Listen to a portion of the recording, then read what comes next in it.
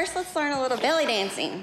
Belly dancing. Belly dancing. I was starting to get thin, a little nervous. Down, Down, down, up. down. I was supposed to make a figure eight with my butt, but I don't know. I don't think I quite got it yet. Maybe we should just do salsa. Forward, back. Now add the hips. Forward, back.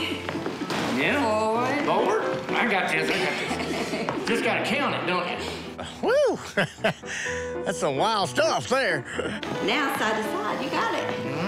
Side.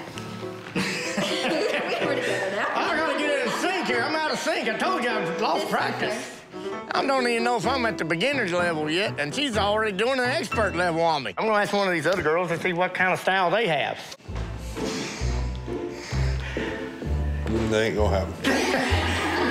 You don't have to go up on your toes. Just pretend. Like this. Feel like a Bring your arms up. what?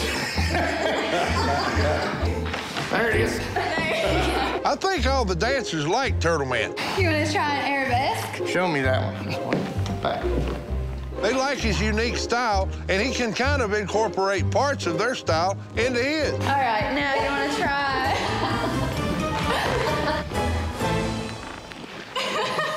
All right, who else? You're looking at me? Yeah, sure.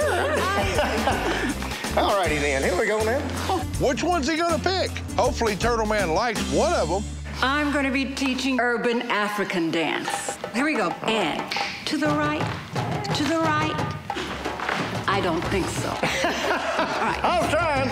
We're going to do a little hip hop. We're going to do booty pops around. a booty pop. Booty pop.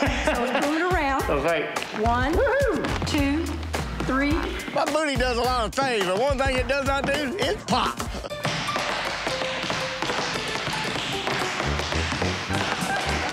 I'm starting to like my feet, the way they sound. I'm starting to get into it.